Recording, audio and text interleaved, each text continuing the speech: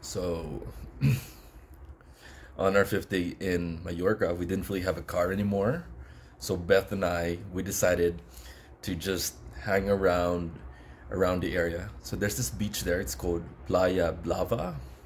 Yeah, maybe this is the right place.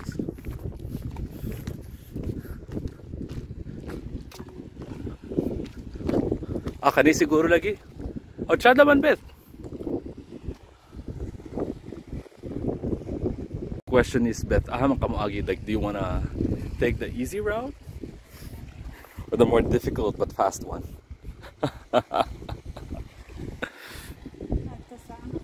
Pwede mo tadari. No, I have so many um, things. So many anong tawag unsay tawag ana kanang Things to carry. things to carry. Like for example in life, Yeah, okay. in life you have I have uh, so many but example lang. Kat na, oy. Beth was saying that she already has so much burdens in life that she doesn't want to add anything more. I will take the easy, easy. So we'll do the easy route then. So much burden already. Why make yourself um, It's like a two kilometers walk from Arenal. And uh, it wasn't really a beautiful beach, but the view was amazing. It was all rocks, and uh, the the water was crystal clear blue. And uh, we met some middle-aged women there, and they were very nice. One of them was Victoria, the other one was Elena. And funny thing is, because we were having a conversation, and they were all topless. So I've always wanted to ask if that's a common thing here in Spain. And uh, they said that, you know, there are some beaches that do that, there are those that don't. And um, they're just quite open about it, like doing nudity. And I've also heard that there's even a nudist beach in, in Mallorca.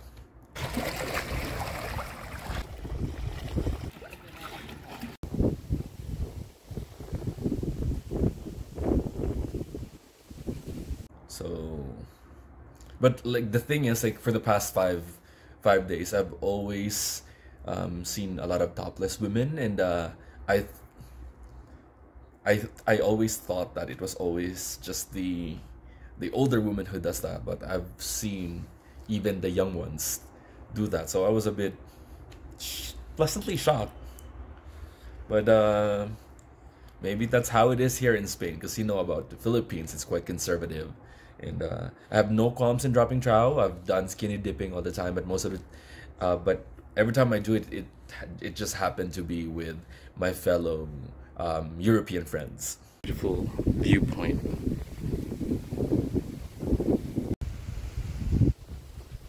It's so beautiful here. Quite relaxing also.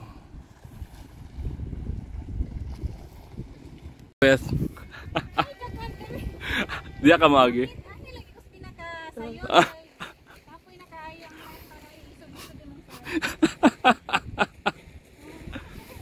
Yeah, it was just a chill day actually. We just like um, explored all the different uh, places near Playa Blava because like we, when we went there, we chilled there.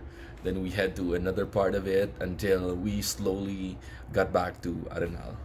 Then eventually uh, we went back to our favorite restaurant, which is called El Nilo, and uh, we have a favorite waitress there. Her name is Sylvia, but she's not sad though. She wasn't there when, uh, like for our last dinner. It was an early dinner because we were planning to still eat later, but we were so full already, and we just had to have um, grilled squid.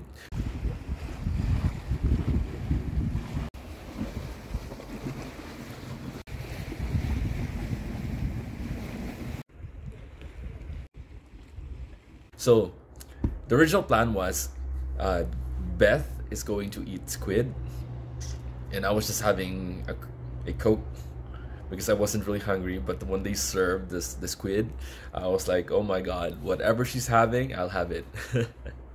so it ended up us eating, I think, around five thirty ish up to six. It was too early for our standards, thinking that we would be eating later that night. However, uh,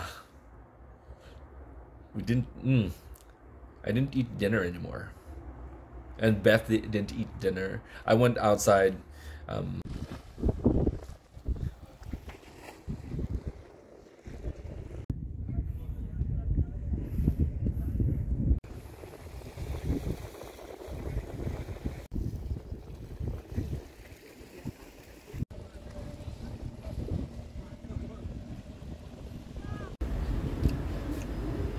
And I, I was having trouble with my Ryanair login, but uh, eventually it got sorted out. So I got so stressed I had to go to McDonald's and eat some fries, just to comfort myself.